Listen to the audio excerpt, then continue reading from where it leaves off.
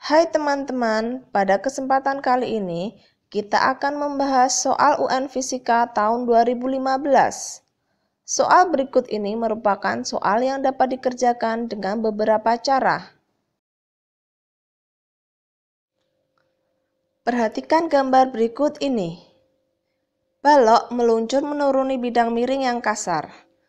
Jika gaya gesek antara balok dengan lantai 3 Newton, G sama dengan 10 meter per sekon kuadrat, dan balok mencapai dasar bidang miring dengan kecepatan akar 50 meter per sekon, maka besar nilai H adalah A. 2 meter B.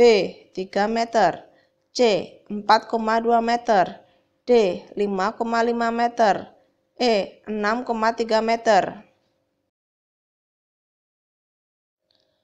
Cara pertama untuk menyelesaikan soal tersebut adalah menggunakan konsep hukum 2 Newton. Persamaan hukum 2 Newton adalah F sama dengan M dikali A.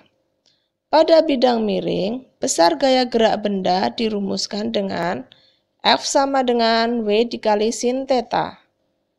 Gaya gesek adalah gaya yang arahnya berlawanan dengan arah gerak benda.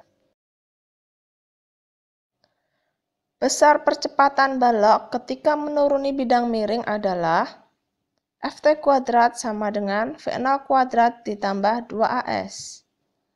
Akar 50 kuadrat sama dengan 0 ditambah 2A dikali 10. 50 sama dengan 20A. Jadi nilai A adalah 50 dibagi 20 sama dengan 2,5 meter per sekon kuadrat. Selanjutnya, kita cari ketinggian bidang miring dengan menggunakan hukum 2 Newton. F dikali sin theta dikurangi F gesek sama dengan M dikali A. Dengan sin theta sama dengan H per 10. M dikali G dikali H per 10 dikurangi F gesek sama dengan M dikali A. 1 dikali 10 dikali H per 10 dikurangi 3 sama dengan 1 dikali 2,5. H min 3 sama dengan 2,5. H sama dengan 5,5.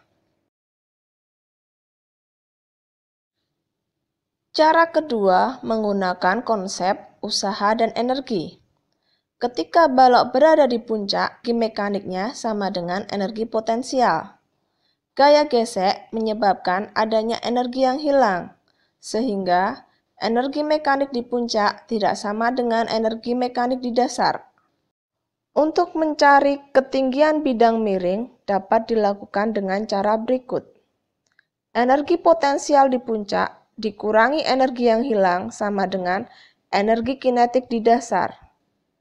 M dikali G dikali H dikurangi F gesek dikali S sama dengan setengah MV dasar kuadrat.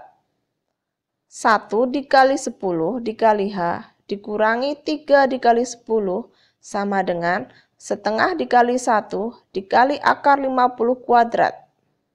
10H sama dengan 25 ditambah 30. H sama dengan 55 dibagi 10. H sama dengan 5,5 meter. Jadi, jawaban dari soal tersebut adalah D.